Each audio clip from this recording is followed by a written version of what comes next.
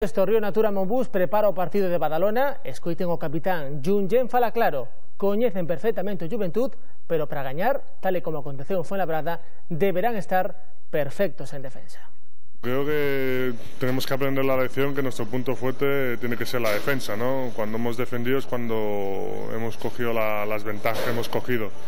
Cuando defendemos tenemos opciones de ganar, si no defendemos no tenemos ninguna opción de ganar. Conocemos durante toda la semana pues, su sistema, los jugadores que, con los que juegan, quién es más importante, quién es menos. Yo creo que con eso la información es, es muy buena y nos estamos preparados para, para poder afrontar con jugar con esos jugadores. ¿no?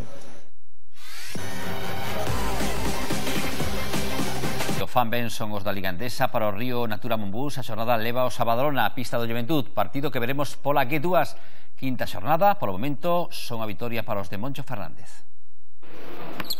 Nada motiva máis o Río Natura Mombus que facer historia. Esta xornada toca a visita a un clásico o Juventud de Badalona unha pista na que os composteláns nunca gañaron. Tras o triunfo en Fuenlabrada, o equipo recuperou a confianza, aínda que a Peña propón dificultades novas, por exemplo, definir o seu estilo. Pueden romper los sets cuando quieran por ser por no tener tanta tanta ¿cómo voy a decir yo? Eh, segur, seguridade en los, en los sistemas. ¿no? O equipo de Moncho Fernández conquistou no pasado o Palacio dos Deportes de Madrid, o Palau Blaugrana, o Martín Carpena de Málaga e o Bues Arena de Vitoria.